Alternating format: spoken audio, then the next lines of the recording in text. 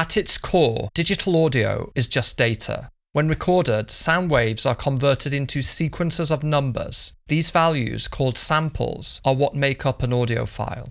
Through programming, we can access and modify these samples. Today, we'll explore the basics of how we can use Python to work with audio wave files. We'll be using three external libraries. NumPy, which allows us to efficiently process audio samples as numerical arrays. SciPy, which provides tools for modifying audio data. And SoundDevice, which lets us play sound directly from our program. If you haven't installed them yet, you can do this using pip. At the top of our script, we'll import numpy as np, scipy.io.wavfile as wave. This is a submodule of scipy's input-output module for reading and writing wave files. scipy.signal as signal, used to perform signal processing, and SoundDevice as SD. The wave module provides a read function that allows us to load a wave file. It returns a tuple. The first element tells us the audio sample rate per second, and the second element is a NumPy array containing all the audio samples that make up the sound. I've saved a wave file within the current directory. We'll define two variables to store the sample rate and the audio data, and use wave.read to load the file. We can use the print function to uncover some key details about the audio file We'll print the sample rate, the shape of the data, and the data type. When we run the program, we see the sample rate per second, the shape of the data, which tells us how many samples are in the file, and the dimension of the array. Two dimensions indicates that this is in stereo format. And the data type, which is a 16 bit integer. This will be important later. To play the audio, we can use sd.play, passing in the data array as the sequence of audio samples and defining the sample rate with our sample rate variable. We'll call sd.wait to ensure the program waits for the audio to finish playing before exiting. Now when we run the program, we'll hear the original sound that was encoded in the WAV file. But since we have direct access to the audio samples themselves, let's explore what else we can do to the sound. If the audio we're working with is in stereo format, we can, if desired, convert it to mono. First we'll need to check whether we are dealing with a stereo file. A stereo wave file will be represented by a 2D NumPy array, where each row corresponds to a sample and the two columns represent the left and right audio channels. We can determine this by checking if the length of data.shape is equal to 2. If the audio is in stereo, we'll convert it to mono by averaging the two channels using np.mean.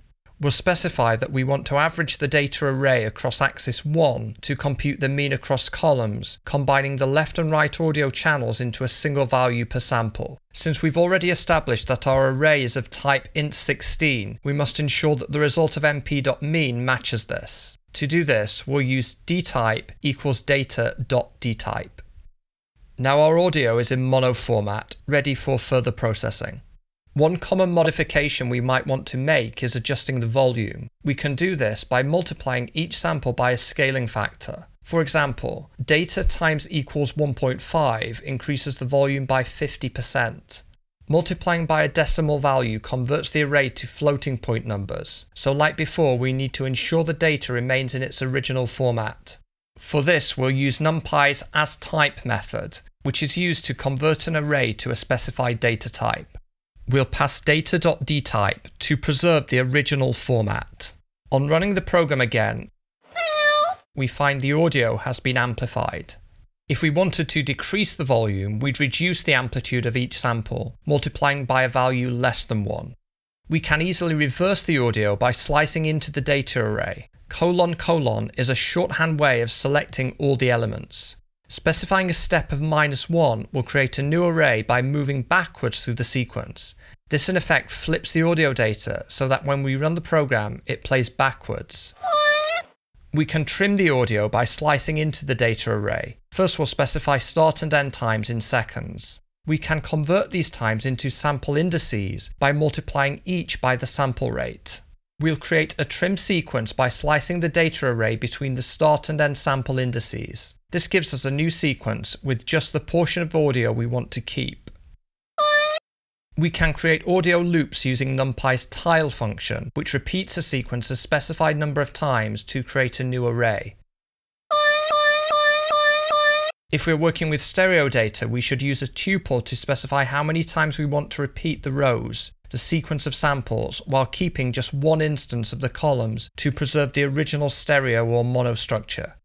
The classic analog effect of a tape speeding up or slowing down can be replicated simply by changing the sample rate. Multiplying the sample rate by 1.5 will speed up the audio and raise the pitch we can decrease the sample rate by multiplying by a factor between 0 and 1 to slow down the audio and decrease the pitch. So what if we want to save our masterpiece? The Wave module also includes a write function that allows us to write a NumPy array to a new wave file. We must specify a name for the file we wish to write as the first argument, the sample rate of the audio as the second argument, and our array as the third argument. We've covered some basic methods for editing and manipulating audio files. If you're interested in more advanced techniques, let me know by commenting. Please like and subscribe, and thank you for watching.